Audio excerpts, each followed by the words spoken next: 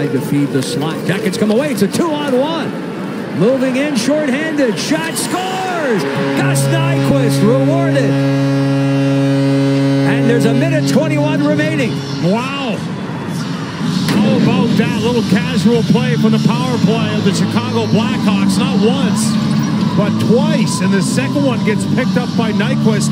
He's got Werenski with him the whole way, but it's off the post and in. Perfect shot. That's Nyquist. Marc-Andre Fleury and Nyquist finds his spot and rips it. Off the post and in. That's over the pad. You can see Marc-Andre hoping that was wide, but knowing that was in. And the Blue Jackets back within one here late in this third period.